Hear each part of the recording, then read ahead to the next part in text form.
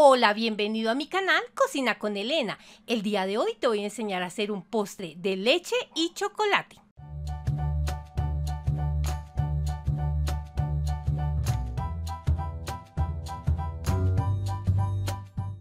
Los ingredientes son 500 gramos de helado del sabor que prefieras. Nosotros escogimos de vainilla. 6 cucharadas de leche en polvo. Una taza de leche condensada. Si no sabes cómo hacerla, ya te enseñamos en un video anterior. Te dejo el link en la i. Media taza de leche de vaca. Media taza de chispas de chocolate.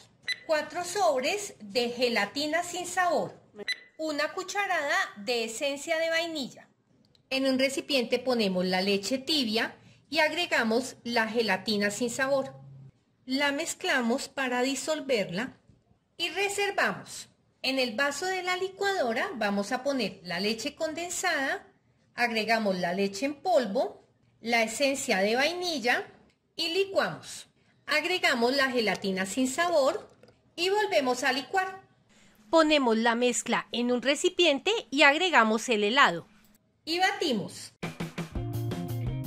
Agregamos las chispas de chocolate, mezclamos y ponemos la mezcla en un molde. Lo llevamos al refrigerador por 3 horas. Sírvelo y disfrútalo. Si te gustó este video, dale me gusta, compártelo en las redes sociales y suscríbete a mi canal.